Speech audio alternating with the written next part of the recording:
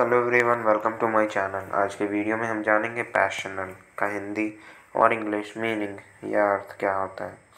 पैशनल इसका हिंदी अर्थ है वासनात्मक, अभिलाषा संबंधी, जुनूनी। वासनात्मक, अभिलाषा संबंधी या जुनूनी।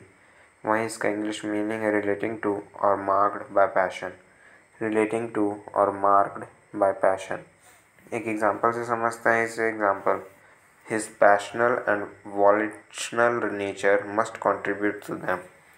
यहाँ पैशनल का मतलब है जुनूनी उदाहरण। उसके जुनूनी और अस्थिर स्वभाव को उनमें योगदान देना चाहिए। इसी के साथ आज के वीडियो में इतना ही। Thank you so much for watching my videos